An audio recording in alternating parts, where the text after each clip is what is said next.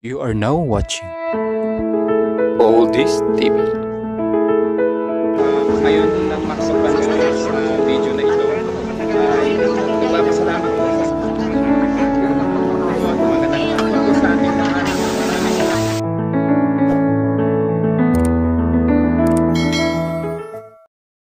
Shoutout po sa aking tagapanood at taga-suporta po kay Oldies TV. Maraming maraming salamat po sa inyong panonood. Magandang araw po sa ating lahat at dito nga po si Brother Nick at ah, kasama nga po rin natin na sinadya nating puntahan si Kuya Max. Si Max Maximo po na kung saan siya po ay pagmamayari ngayon ng isang paggawaan ng ah, kakanin.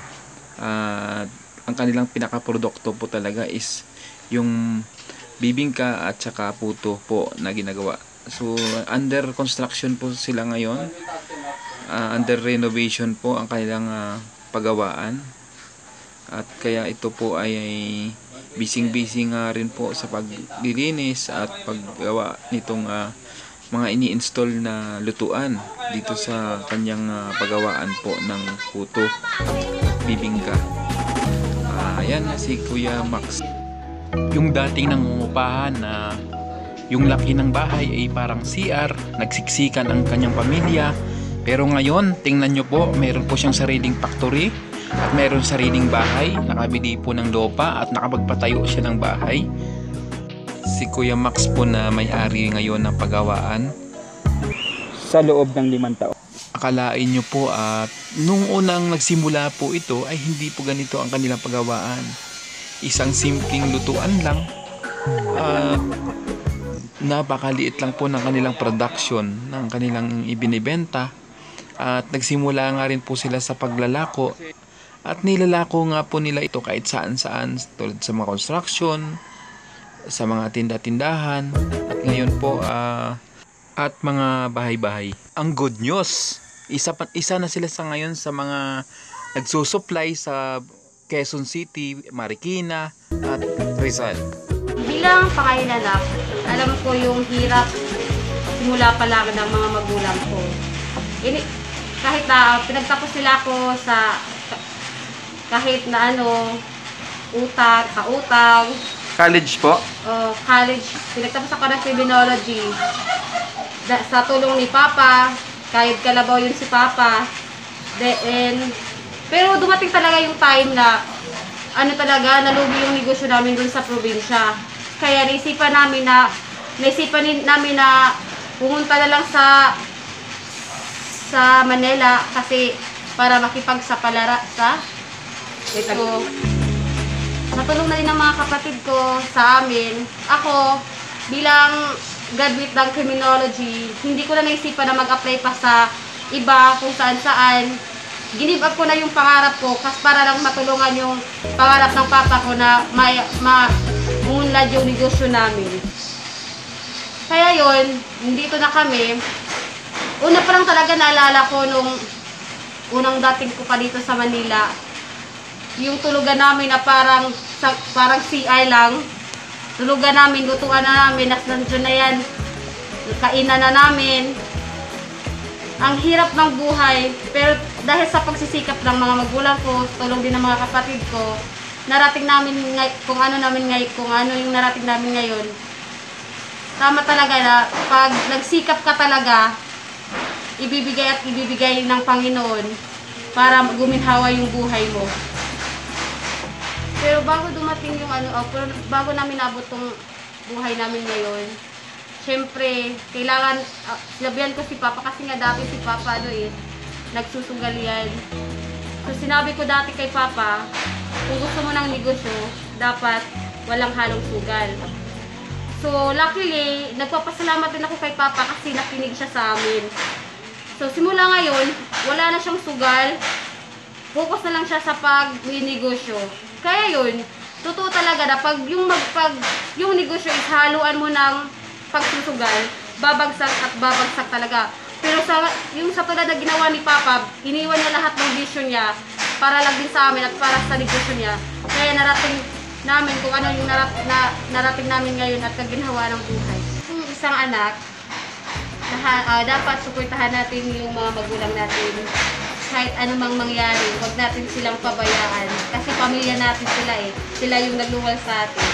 Mapa, maraming maraming salamat kasi kayo ang magulang ko at hindi at hindi hindi kayo talaga bumitaw sa ating pamilya. Thank you. I love you so much. Maraming maraming salamat. Maraming maraming salamat. Okay, God bless. God bless. Isa pa sa mga magpapatunay nito ang isang kanyang anak po na estudyante. Pa, unang-una sa lahat, sal- salamat dahil kayo yung mga naging parents ko. Kahit sobrang daming dumaan na pagsubok sa atin, andyan pa rin kayo at nagsisikap para para maiangat yung pamilya natin at ma, mapa, masuportahan kami magkakapatid. Then, sa business na nabuo, nabuo natin, nagpapasalamat ako dahil sa inyong dalawa dahil andyan kayo, hindi kayo sumusuko para lang mabuo yung business na, na ito. Tapos, mapa, salamat sa pagsuporta sa aming magkakapatid. Andito lang ako, andito lang kami magkakapatid para suportahan at lumag, para lumago pa rin yung business natin. At naway lumago ito, tanang negosyo na tumapa, sisikapin ko makapagtapos ako ng pag-aaral.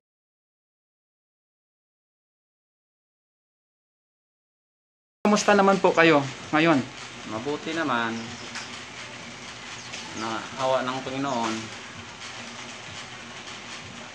ma mayroon din na ano grasya nga binigay sa Panginoon kunti lang muna kasi dati hanap buhay namin nag contraction ako tapos naglalako ng isda marami naglalako ng balot eh ngayon, ang anak buhay na namin ngayon, ano na, nagluluto ng puto. Putong bigas. Awa ng Panginoon na mabiyayaan rin kunti. Kahit pandemic ngayon, kaya, kaya mahina lang kasi ang kita namin ngayon, matumal. Ang kita namin ngayon sa puto. Mm. Pero kumikita kayo sa ngayon, at least hindi naman po yung si- nasisiro po, ano may kita pa din po kahit papaano po. Kumpara sa yung tulad nga po na kwento nyo, yung mas malaki po noon ang kinikita nyo nung wala pang pandemic. Ngayon po ay pandemic, mas bumaba. Di ba sa, nasabi nyo nga po pala sa akin is limang taon nyo po pala ito tinuloy-tuloy na negosyo, yung paggagawa ng puto, bibingka, ng limang taon. Ngayon may bunga na po yung inyong pagsisikap. At tinuloy-tuloy ko kasi itong pagluluto ng puto kasi yung asawa ko, mga anak, tulong-tulong kami, kaming lahat ang naggumagawa nito. Kasi dati kasi, nagkontraksyon ako, ako lang ang nagtrabaho, sila wala. Di, naisip ko, gagawa lang kami ng puto kasi pag niluto na namin puto dati, sa napumpisa kami, yung niluluto namin, tag 5 kilo, 3 kilo, nilalako namin yon. Pagkatapos, mami, pag uwi namin naglako, magluluto na naman, tapos pahinga, ganon.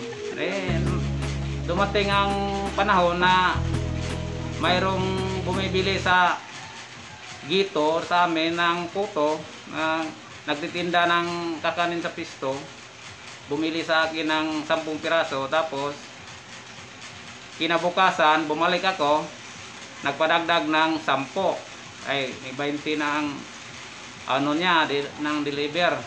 Araw-araw ni ganon tumaas ng tumaas. Di ang ginawa ko di na lang ko nagtrabaho ng kontraksyon nagluluto na talaga ako ng puto. Tapos nagkambas ako sa Marikina ng puto. Tapos sa Qmart. Pagdating sa Qmart pag doon na naman sa Balintawak yun ang binabagsakan ko araw-araw dumadami. Kaya nga sa wala pang pandemic tatlong kaban talaga ang lulutuin namin araw-araw yon di nag-pandemic ngayon isang kaban na lang kasi wala yatang pira ang mga tao kasi wala mang yung magluluto man kami ng marami wala ring bibili kaya kunti lang pero nakakailang piraso po kayo total sa loob ng isang araw pag nag-deliver kayo ng ano, yung gawa po ng puto, nakailang piraso po nung malakas pa. Ano po, tatlong libo yon. Wow. Ma minsan, 3.5. Araw-araw yon sa wala pang pandemic. Eh, ngayon, Yaw na kayo, susuko na kayo. May naranasan po ba kayo na ganun? Oo, mayroong naranasan kasi yung dati nga, yung nagluluto pa kami ng konti pa lang niluto namin, ano yon nilalako namin. Tapos pag tapos luto na yung putong niluto namin, ilalako pa namin yon Kaming mag-asawa, kaming dalawa maglako, araw-araw. Di, siyempre, lalo nagtag-ulan, mahirapan na talaga magdako kasi ulan eh. Minsan di maubos ay pang, naawa ang Panginoon sa amin yung yun nga yung sa umpisa sa gito lang may nagtitinda ng kakanin yun naghango sa akin eh ang hango niya araw-araw nagpadagdag ng padagdag yun ang tinutuloy ko yung naisip ko nga maganda tong negosyo na to kasi ang magluluto naman ako lang ako at saka asawa ko at sa mga anak ko, kami lang nagtulong-tulong pag luto. Tapos, pagkatapos naming magluto, ay deliver na namin doon sa nag-order. Di, di na kami, di na kami maglako. Kaya nga, pinatuloy namin talaga kahit pandemic, ganun din. Pinapatuloy namin kasi lahat naman kami gumagawa, walang nakatambay. Tulong rin sila sa hanap buhay namin. Wala silang kapaguran nagtulong sa trabaho namin dito, tulong-tulong ako. Malaki kong pasalamat sa mga anak ko, akong asawa, at saka manugang ko nga tinutulungan talaga ko sa hanap buhay ko. Kaya umaangat yung business ko konti. Lalo na po ngayon, ha, di ba, nagkaroon nga po kayo ng sariling bahay na Oo. kumpara pa noon, nangungupahan, di ba po? Ah, dati kasi nangupahan lang kami. Eh ngayon, awa ng Panginoon, nakabili na kami ng lote tapos inayuan ko rin ng bahay. Eh di na kami nangupahan ngayon. Tapos yung dating isang motor na inuupahan, Oo, eh, dati kasi yung paglako ko, yung motor nga ginagamit ko, inupahan ko lang yon tag isang daan ang araw. Eh ngayon, awa ng Panginoon, apat na po yung Wow. motor ko. Na eh, binigyan sa Panginoon ko ng konting grasya kaya nagiging apat na ang dinibira ko ngayon. Bakit hindi po kayo mag, ano, magkuha pa po ng sasakyan? Halimbawa, L300 po, ano? Parang pa- maganda na po kasi negosyo nyo din po. Negosyo nyo din po, ano? Kailangan yata mas malaking sasakyan, kahit L300, di ba po? Ano po kasi, yung doon sa delibera na namin, yung L3, L, L300. nga sasakyan at saka yung basta sasakyan, kahit anong sasakyan, ano doon, lugi kasi kami kasi maraming delibera namin. Tapos bawat parada namin doon halimbawa deliver kami sa Balintawak may parking fee doon. Nagbabayad Ah. kami 100 tapos sa Qmart naman mayroon ding parking fee.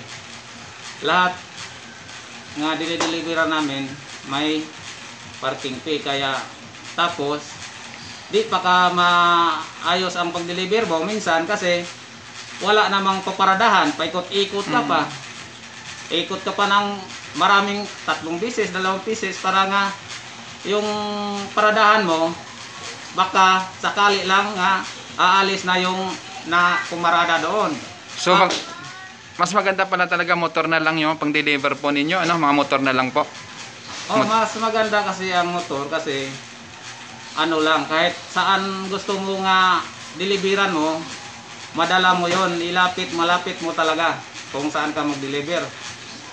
Eh, tapos mura lang ang parking fee, 5 piso, 20, 10, bawat ano ng deliveran namin. Tapos, Okay. pero yung magbabantay naman,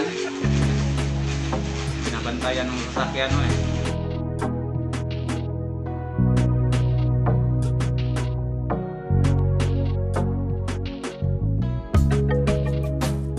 Sa mga tatay dyan, katulad ko, sa mga magulang, ang payo ko lang sa inyo nga kung ano ang nasimulan mo nga negosyo, tapos naramdam mo nga kumikita ka, di ka nahirapan, ganon, di ituloy mo lang kasi yung katagalan kasi may Pangino ah, may yung Panginoon tutulong sa inyo.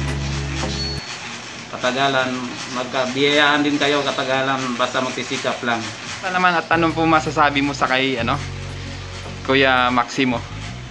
Ah, si Kuya Max talaga, ah, ngayon, ah, nakapunta ako dito sa bahay niya, hindi ko talaga in-expect na ganito yung magiging bahay niya. Kasi dati, ah, magkapit bahay kami sa Gumamela, eh, Barangay Santa Cruz. Nangungupahan lang yan dati doon.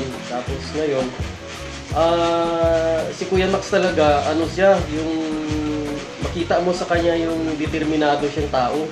Masipag, nandun na lahat. Ngayon, sa nakikita ko siya ngayon dahil ah, ano siya, masipag siya magnegosyo.